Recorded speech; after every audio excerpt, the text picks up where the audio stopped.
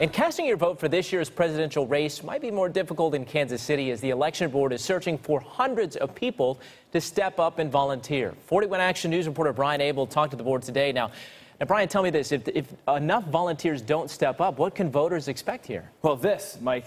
You remember this, right? Missouri primary back in March. Long wait times, two hours sometimes. Well, if there aren't enough judges this time around, it means fewer polling locations and potentially longer wait times.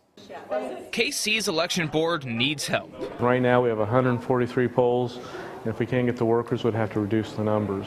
The board needs about 1,200 volunteers to work November's presidential election, but they want those same volunteers now for the August primary. They're 300 short. We want them seasoned and trained and ready for November. It's a great opportunity. Three-year election volunteer veteran Charles Carter calls his service a civic duty. I got a letter asking if I wanted to be a, become a judge, and I said, sure, why not? Being social and helping others is the payment, along with at least 180 bucks. Because a lot of seniors come in and they say, oh, I'm afraid to use it, and I'm like, no, no, it's easy. The hours can be anything but. It's up to 15 hours start at 5 o'clock in the morning and you go to about 8 o'clock at night. That's one reason volunteer recruiting comes up short. Two, they also have to be registered as a Republican or Democrat, and workers at each polling spot have to be split 50 50 between the two. We're trying to reach out to uh, civic groups, to charities, uh, to 501cs, to churches. The election board is trying a new tactic this year called Adopt a Poll.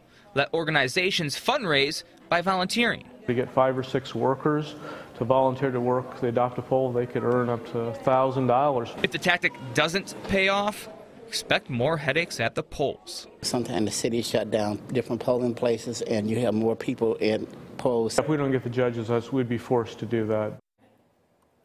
Now, Kieffer says the board has always ended up hitting the mark, but because of such a struggle each election cycle to get volunteers, they've talked about changing the system to be more like a jury duty where you're summoned to work, though he hopes that will not happen right now, or hopes it will happen mm -hmm. rather. Right now, he says that that idea has no legs. You would expect a lot of people have a big interest in this uh, election this November, so they'd like to see some workers there to be able to deal with the voters. Yeah, and they can. Uh, we, we have information on our website on cool. how to sign up, and there is a little training period involved in that as well. All right, Brian, thanks.